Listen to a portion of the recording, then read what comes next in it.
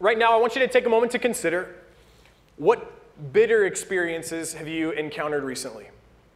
Um, I know a handful in our church have gotten sick. Uh, some COVID, like another wave, has been spreading around. Um, raise your hand if you know somebody that's gotten COVID in the last few weeks. Yeah, everybody. Um, we've, had, we've had people in our church family who have lost a loved one, others who have lost a job. Jesus said, In this world you will have trouble. Are you encouraged yet? in this world you will have trouble. As long as we're in this world, we're going to experience some painful, difficult things, right? Sickness, loss, disappointment. But in the midst of those challenges, the most bitter experiences, God is present. This morning we're going to look at a story in the Bible where God, he reveals himself to his people when things were bitter.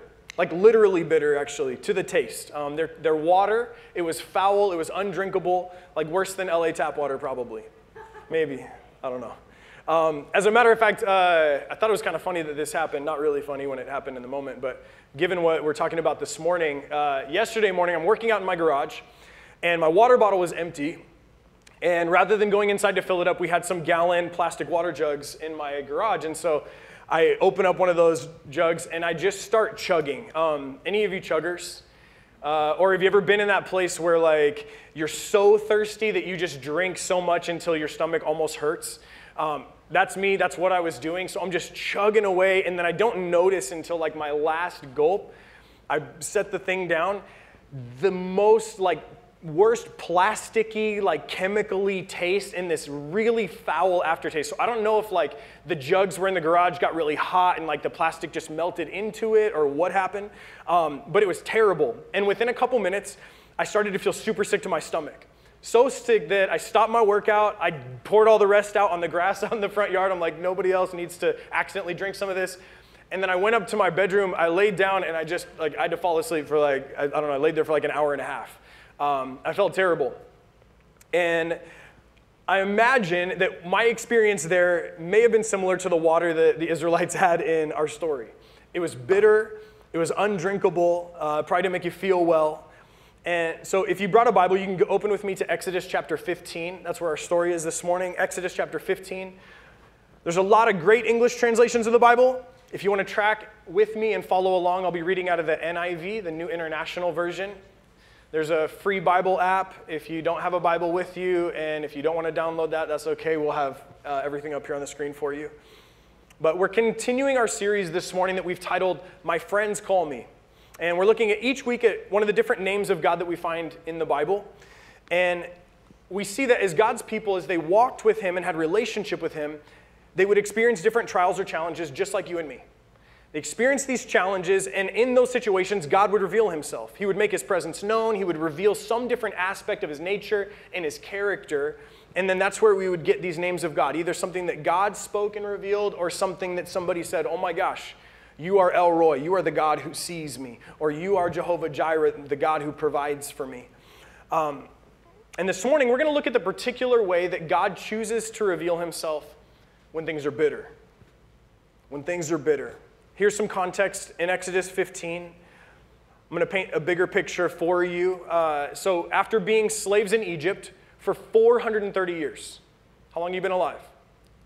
Okay, 430 years, long time. This is all this nation is known for generations is being enslaved in Egypt. And God, He miraculously frees His people, the Israelites. He sends Moses to Pharaoh and He says, God says, let my people go. And Pharaoh responds, and he wasn't having it. He tells Moses, Who's the Lord that I should obey him? I don't know the Lord, and so I'm not going to obey his command to let them go. But little did Pharaoh know that God was going to make sure Pharaoh knew who he was. So God reveals himself. He demonstrates his power by sending these 10 plagues on Egypt that completely destroy the land. One thing at a time, just in succession. So, first, he turns all the water in Egypt, all the water in the Nile River to blood. All the fish die, people can't drink it. Then he sends a plague of frogs frogs in the street, frogs in your closet, frogs everywhere. Then he sends a plague of gnats, then flies, then all the livestock, all the animals that belonged to the, the Egyptians, they died. But God spared all of his people to make a distinction, all their animals. Then God sends boils that break out on everybody's skin. Then a massive hailstorm. Then locusts come and they eat up anything that the hail didn't damage. Then there was a plague of darkness, so that nobody, imagine, you can't see, like literal darkness, not just like a little bit, but nobody could see or move for three days, it said. That's nine of the plagues, nine of the ten. And after every single one of those plagues, Mero, uh, Pharaoh, Mero, Pharaoh calls in Moses and he says, I want you please pray to your God that he would stop this plague. Get these frogs out of here, get these gnats out of here, whatever it is. And Moses would say, Okay, I'll pray to him for you if you agree to let his people go. And he says, Yeah, I'll let them go. Just pray that they, you know, that God would take this away. So Moses prays, God removes whatever it is, and Pharaoh changes his mind. Every time changes his mind, and then hence why the next plague would come and then the next plague. But then came the last plague death to the firstborn. Every firstborn child, every firstborn animal, except for the people of Israel. If you remember the story, God tells Moses to instruct the Israelites I want you to slaughter a lamb, and I want you to take some of the blood and put it on the door frames of your house. And then when the angel of death comes and passes over that night, any of the homes that have that blood on the door frame, he will pass over and spare the people inside. That's where we get the name Passover and the Jewish feast of Passover. And so that night, the angel of death passes over all those Israelite homes with the blood on their doorposts. And Pharaoh wakes up the next morning and his son is dead. And that's it for Pharaoh. He finally commands the Israelites to leave. Just get out of here. I don't want to ever see you again. And the Israelites, they leave. And as they exit out of Egypt and they're, they're exiting out of the city and all this, this place, Pharaoh realizes, okay, we just lost, him and officials, his officials realize they just lost their entire labor force. The land is destroyed and we have no one to work it. We don't want to do it ourselves. We just made a huge mistake. So he gathers the entire army, 600 chariots, and they go after the people of Israel. The Israelites, they reach the edge of the Red Sea, and then they look behind them, and here comes Pharaoh's army coming over the hill. And they're trapped, they're freaking out. What in the world are we going to do?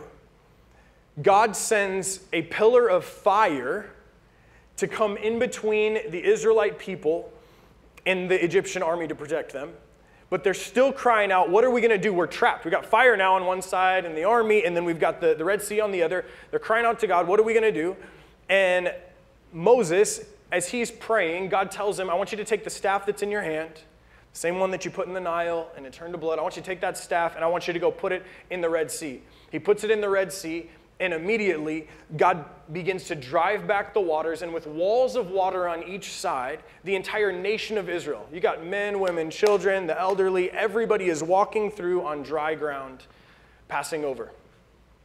And just as the Israelites are coming out the other side, God removes the fire that was keeping back the Egyptian army.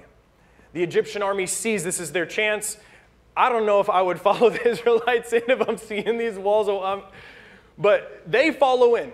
The entire army chases them, and right after the last Israelite person steps onto dry ground, God causes the waters to come back in, and every single one of their enemies is drowned. When we reach Exodus chapter 15, the Israelites, they're standing on the other side of the Red Sea and they're free. For the first time in 430 years as a people, they're free. And so they sing this big worship song led by Moses' sister Miriam. And have you ever been in a stadium filled with people who are singing the same song? It's like enough to give you goosebumps, right? Like, so I want you to imagine that time, that multiple times over, that same kind of feeling the entire nation, they all lift up their voices and they're not just singing it like it's their yell. They are passionate in worship because God, look at what He just did for us. They are celebrating. We are free. And so they're all just erupting in praise together. One of the most beautiful moments of worship that we read about in the entire Bible. But then we come to verse 22. That's where we're going to pick it up. It says, Then Moses led Israel from the Red Sea and they went into the desert of Shur. For three days, they traveled in the desert without finding water. When they came to Marah, they could not drink its water because it was bitter. That's why the place is called Marah. So the people grumbled against Moses, saying, What are we to drink? then Moses cried out to the Lord, and the Lord showed him a piece of wood. He threw it into the water, and the water became fit to drink.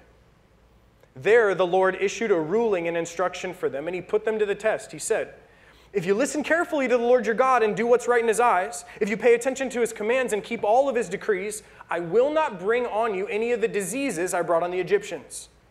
For I am the Lord who heals you. In Hebrew, he tells Moses, I am Jehovah Rapha.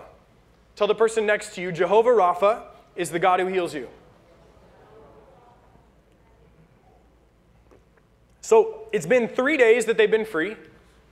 Only three days since they experienced that powerful moment of worship all together. But as they're traveling through the wilderness on the other side of the Red Sea, they can't find any water. And three days go by, everyone's parched, they're barely hanging on. How long have you gone without drinking water? I've never made it close to three days. I haven't made it a day. They're barely hanging on at the end of three days. And I imagine, so they, they finally come to this place called Marah, and they see water everybody's like, oh my gosh, we finally found it. I imagine the first person goes over and they just start drinking immediately, spits it all over the ground. This is disgusting. I imagine a couple other people try it because they're so desperate. Same thing, spewing it all over the place. This is terrible. They call the place Marah, which means bitter because the water is bitter. Have you ever noticed that after God reveals himself to you, after he blesses you or he sets you free, that it's not very long afterwards that trial comes, that your faith is tested. I had this roommate in Bible college, and we shared this apartment together, and we were poor, poor college students. We got like all of our all of our furniture we got for free off Craigslist. Um, that free page on Craigslist was like my favorite thing. Um, we were living off top ramen, and because we were poor, like we we were trying to be careful about running the heat and the AC, right? But my roommate, he would get up really early to go to work in the mornings, and in the wintertime, it was freezing cold, and so he would turn the heat on, which was fine. But sometimes he would forget to turn it off. And so I would come out and it would just be like really hot in our place. And so I would text him, I'm like, dude, please, like, I'm not trying to pay for this. Make sure you turn it. He's like, oh yeah, sorry, dude. I'll just, I'll take care of that. I'm sorry. We have a couple of these conversations. And then you fast forward about a week. And I wake up early in the morning and I have the most amazing time with God. I'm reading my Bible and praying and worshiping in my bedroom, and like it was amazing. Like I was filled with so much joy and excitement. I'm like, man, God, you're amazing. I'm excited for today. And I opened my door to go out, and the heat hit me like a ton of bricks. I look over at the thermostat on the wall, and it was like a knob, a dial like this.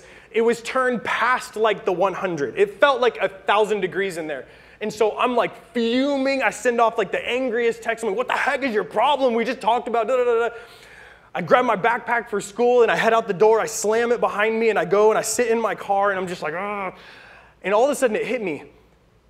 Two minutes ago, I was like, God, you're amazing. What the heck happened to me? Like the Israelites, I think we can, or I'll speak for myself, I can be quick to lose sight of all that God has done for me, everything that He's doing or has done and zero in on that one bitter thing that's happening in my life and allow it to consume me. And we grumble.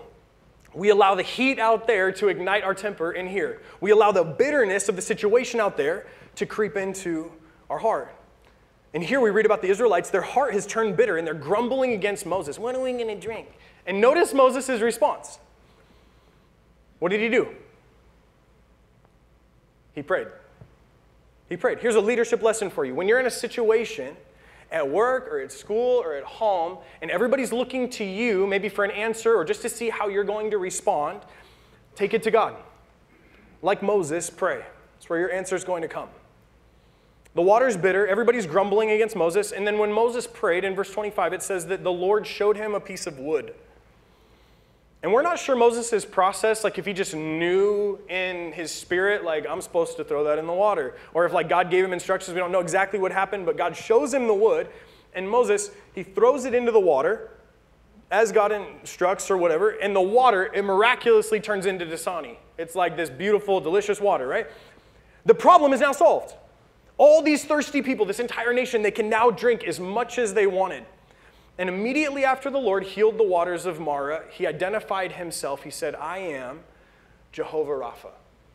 I am the Lord who heals you. Isn't this amazing? Beyond the miracle itself, what's wild to me is how God responded. He blessed a bunch of grumblers.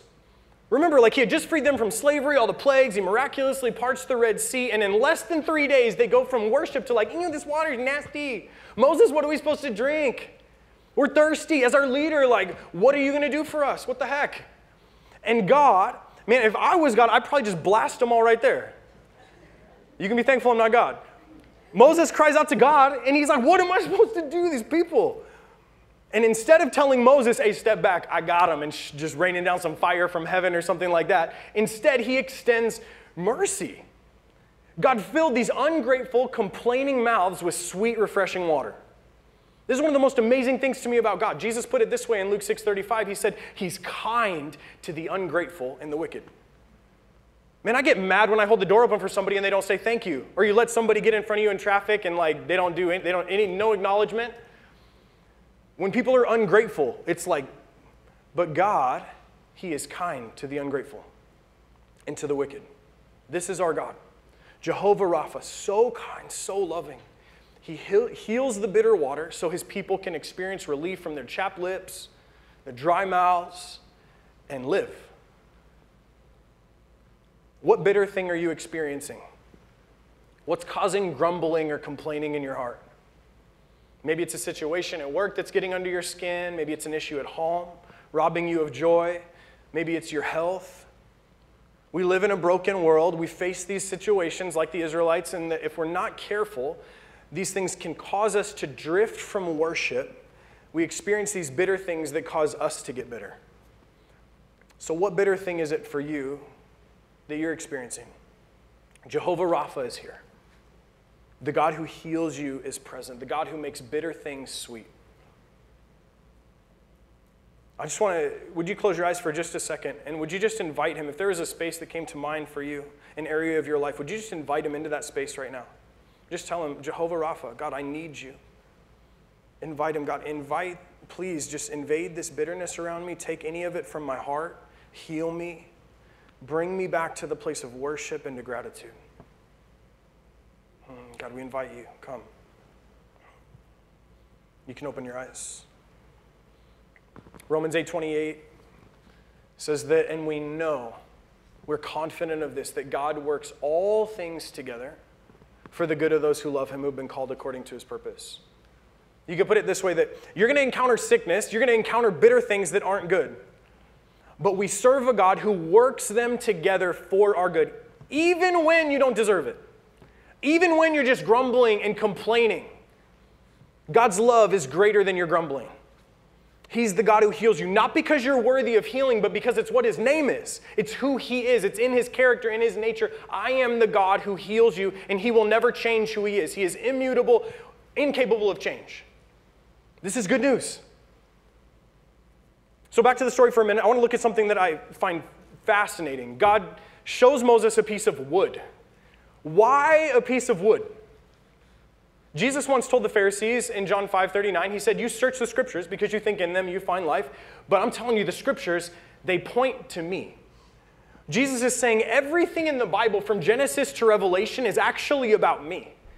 We saw it in previous weeks, right? Every week we're seeing that the greatest expression of every name of God, we see it in Jesus. Jehovah Jireh, the whole story of God being our provider, was a picture of Jesus. Abraham giving his one and only son whom he loved. Who else did that?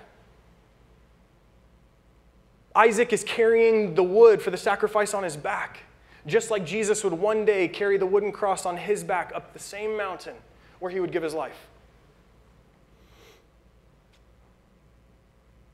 And here we see it again. If the people don't get drinkable water soon, what's going to happen? They're all going to die. Right there in the wilderness. In their moment on the edge, when they're on the edge of death, what is God's answer? A piece of wood. God shows Moses a piece of wood. Do you see this is the gospel? We've all sinned, and the wages of our sin is death, not physical death. We're all going to die unless Jesus comes back first. We're talking about spiritual death in separation from God for all of eternity in hell. And like the Israelites in the wilderness, unless God did something miraculous, we are incapable of saving ourselves. But in his kindness and his great love, he sent his one and only son, Jesus, who was born of the Virgin Mary. He lived the perfect life that you and I could never live. and then he died a sinner's death on that cross, making payment for all of our sins. He was buried in a tomb. Three days later, God raised him from the dead. And now, because of what Jesus has done on that wooden cross, we are all offered eternal life. We can be forgiven, you can be brought into relationship with God.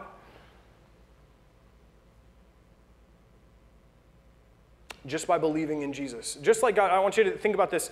Just like God pointed Moses to the piece of wood that would provide a way for his people to live, today, God is pointing all of us to the wooden cross, the place where God ultimately provided a way for us to live. His death for us means life. He was whipped for our transgressions, he was bruised for our infirmities. By his stripes, we're healed.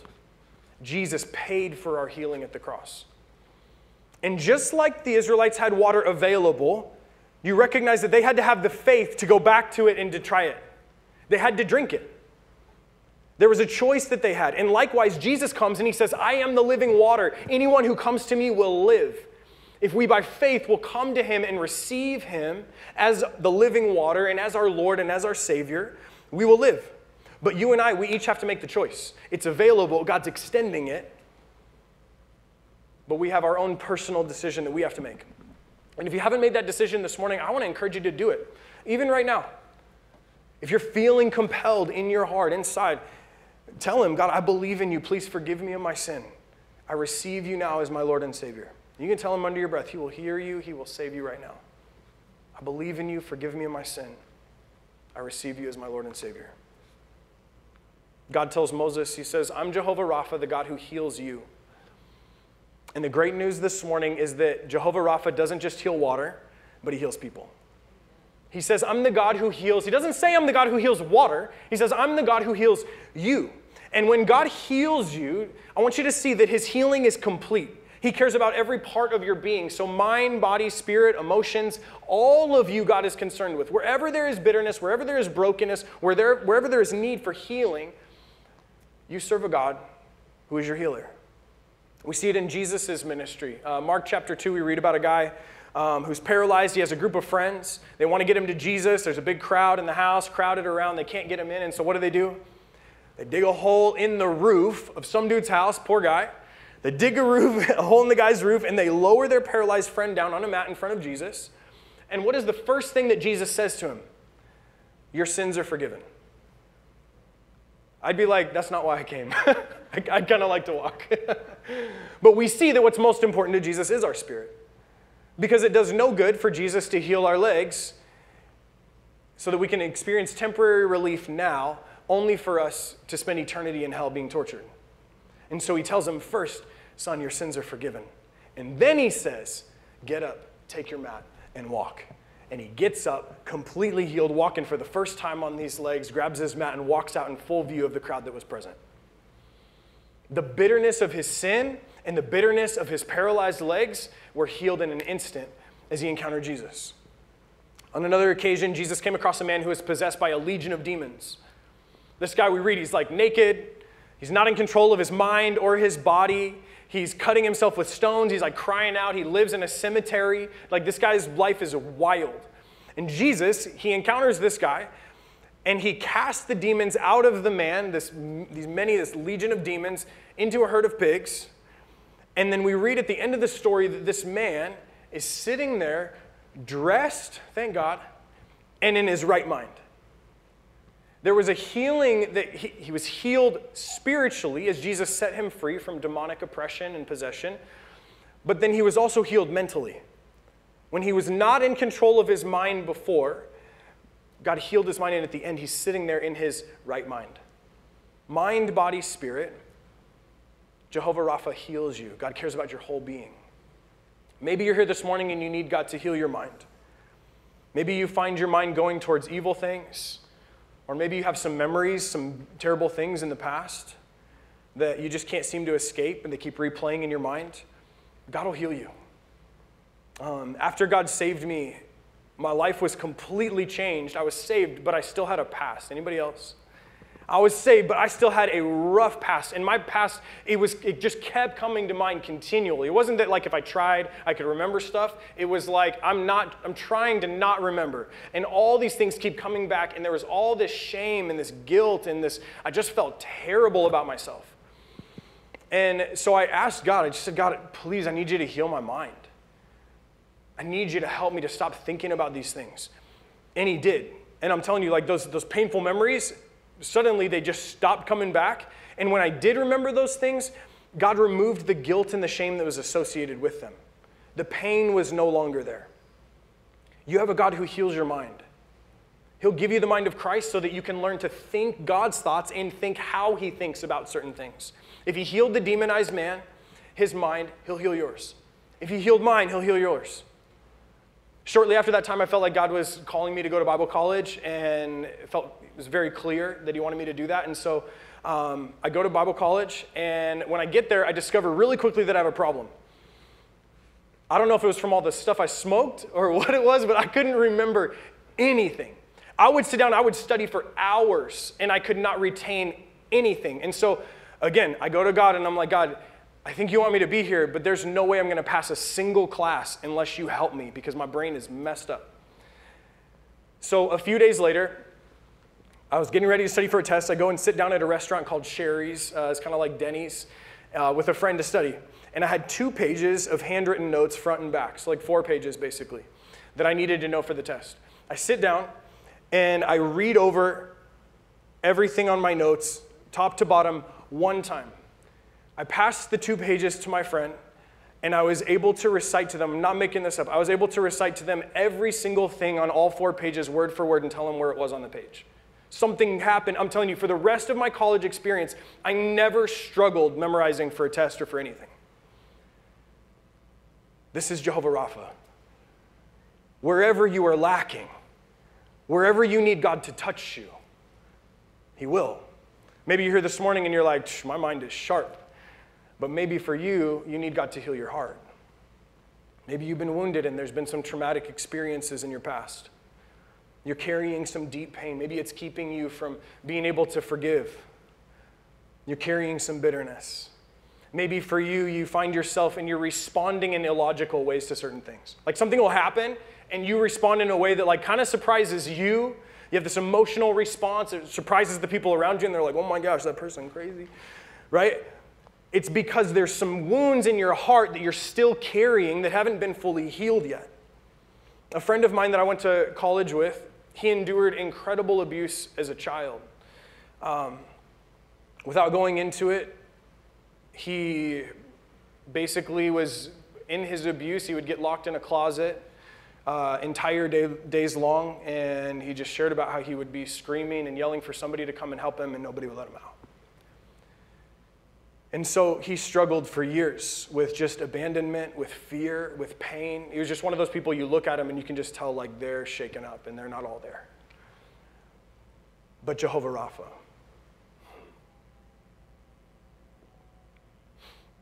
God healed him and God brought so much healing to his heart that he's now one of the most secure and confident and loving. He's an amazing father now. Like God completely healed him of all the junk of the past. It wasn't that he forgot all of it, but God brought healing and he removed all the sting and all the pain that was associated with everything in the past. Jehovah Rapha will heal your broken heart. I could share all kinds of stories with you this morning of God healing people in the Bible, but I felt led to share these stories because I believe God wants you to see that that verse is true. That Jehovah Rapha, that Jesus Christ is the same yesterday, today, and forever. He's still healing people today.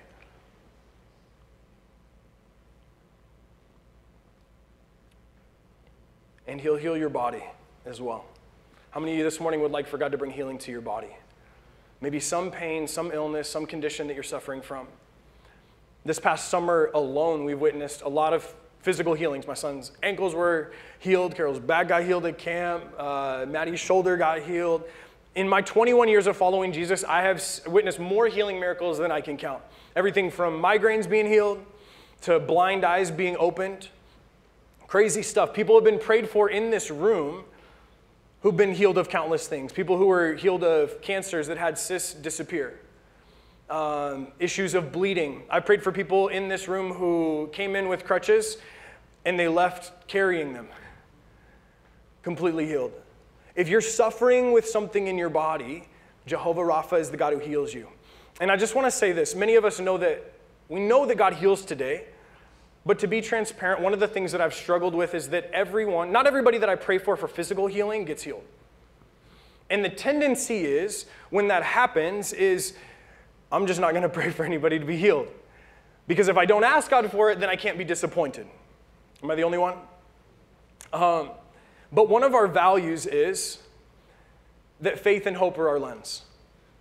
We choose as a community, we are going to guard faith and hope that we're going to believe God, we're going to trust God. And even if there's doubt present, we're going to choose to not let the doubt influence our behavior and inform our actions, but we are going to be people of faith and we are going to allow that to inform how we respond. And so we're going to pray for healing this morning. And we're going to believe God, even if it's for the hundredth time that you've asked for that specific thing we're going to give God the opportunity to move. We're going to move from that place where we're sitting in fear and like, I don't know if I want to have somebody pray for me again. What if I don't get healed? Well, what if you do? Can we ask the other question and be filled with faith and say, what happens if I do get healed? Would it be worth it for you to respond if you actually do get healed? I'm confident God is going to heal people this morning. And we're going to move in faith. We're going to give God the opportunity. And so, where do you need to experience Jehovah Rapha this morning? Will you stand with me? I'm going to invite the worship team to come back up. I want to encourage you to come to Him who brings complete healing spiritually, emotionally, mentally, physically. There's a cross that we have set up over here, and there's some sticky notes and pens on the floor next to it um, or on the edge of the stage. And as we worship, I want to just invite you to come up to the front, come to the cross. You can write on that sticky note whatever it is that is bitter in your life, whatever it is that you want to invite Jehovah Rapha to come in and heal. Um, so if you're stuck in the bitterness of sin this morning, Jehovah Rapha is your healer and he will forgive you. Are you suffering in your thought life? Jehovah Rapha will heal your thoughts, he'll give you the mind of Christ. If you're suffering in your body, come on, Jehovah Rapha is your healer this morning. Are you suffering emotionally? Maybe you're dealing with loss, maybe you're dealing with depression. Jehovah Rapha is here. And even for those, just feel compelled to say this, that those watching online later, that God is with you wherever you are, wherever you're hearing this. And in an act of you bringing that thing to Jesus, remember, when that water, when it came into contact with the wood, there was healing that took place. And so there's nothing magical about this little thing that got screwed together over here. But as a symbol of you saying, I'm bringing this thing to Jesus, I want to invite you to come. And as we worship, just to pick up a sticky note there's going to be some prayer teams that are available along the wall here. And so if you want somebody to pray for you, uh, you can either come to the prayer teams, you can come to the cross, you can do both. But we want to take a few minutes to respond. And once again, I just want to challenge you. What if God does? Step out of your seat. I know sometimes, even you know, as a as a leader or as a parent, sometimes you're like, oh, I need to be the one that has it together. But leaders go first. And that means walking in humility and saying, I'm going to, no matter what anybody else thinks, no matter what anybody else, whatever, this is between me and the Lord, and I want to experience God as Jehovah Rapha. I want to invite Him into that space wherever I need it. And so, would you come and respond? You don't have to wait another second. You can come on up now, um, and we'll worship together.